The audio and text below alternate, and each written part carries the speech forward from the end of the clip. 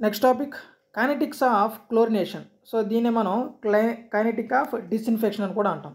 So దీంట్లో first one వచ్చి percentage removal of organisms అంటే efficiency so efficiency nu equal to N naught minus N t by N naught into hundred so ఇక్కడ N naught వచ్చి initial number of organisms so ఏదైతే వాటర్లో initial number of organisms ఎంత అయితే ఉంటాయో దాని యొక్క వాల్యూ ఎన్ నాట్ నెక్స్ట్ అదేవిధంగా N t so N t means number of organisms remained at time t so at time t దగ్గర ఎంత అవుతాయి నెంబర్ ఆఫ్ ఆర్గానిజమ్స్ ఉంటాయో సో దాని యొక్క వాల్యూ వచ్చి ఎన్టీ నెక్స్ట్ రాగ్ లాగ్ రిమూవల్.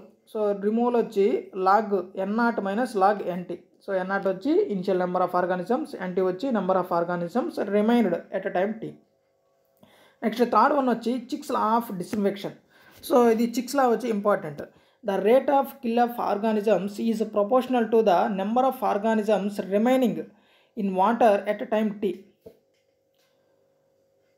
so ఈ చిక్స్లా యొక్క డిస్ డిస్ చిక్స్లా యొక్క ఫార్ములా వచ్చి N t equal to N naught into e power minus k t so it means increase in temperature results in a more rapid kill so అంటే మనం ఆ water యొక్క టెంపరేచర్ని rise చేసే కొంది ఆ వాటర్లో ఉన్న ఏదైతే ఈ బ్యాక్టీరియాస్ ఉంటాయో సో అవి ర్యాపిడ్గా కిల్ అయ్యే ఛాన్స్ ఉంటుందన్నమాట. సో సిక్స్ల యొక్క ఫార్ములా ఇది.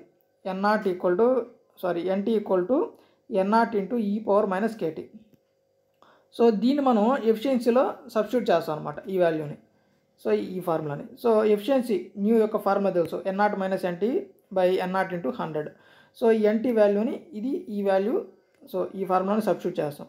సో సబ్స్టిట్యూట్ చేసి ఫైనల్గా మనకు nu equal to one minus e power minus k t into హండ్రెడ్గా వస్తుంది. సో ఇది ఎఫిషియన్సీ ఫైనల్గా వచ్చే ఫార్ములా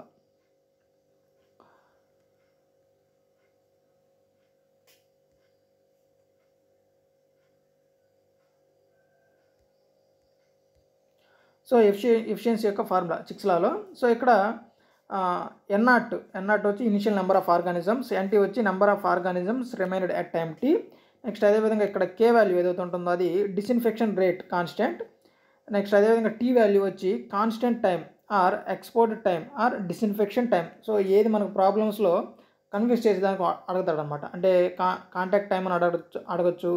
నెక్స్ట్ ఎక్స్పోజర్ టైం అని అడగచ్చు డిస్ఇన్ఫెక్షన్ టైం అని అడగచ్చు. సో ఏదైనా సరే ఈ వాల్యూ టీఏ అవుతుంది. సో దాంతోపాటు ఈ గ్రాఫ్ కూడా ఒకసారి చూడండి. నెక్స్ట్ ఫోర్త్ వన్ వచ్చి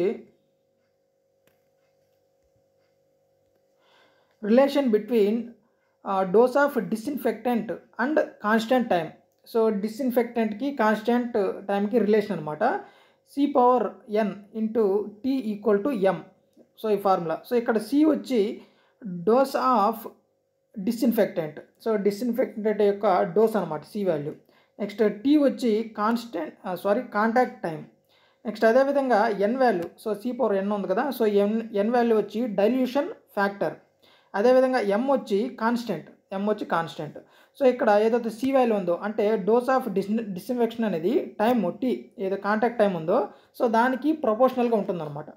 సారీ ఇన్వర్స్లీ ప్రొపోర్షనల్గా ఉంటుంది. అంటే డోసెస్ అనేది ఎక్కువ ఉంటే ఈ కాంటాక్ట్ టైం అనేది తక్కువగా ఉంటుంది. సో ఇది కైనటిక్స్ ఆఫ్ డిస్ఇన్ఫెక్షన్ గురించి.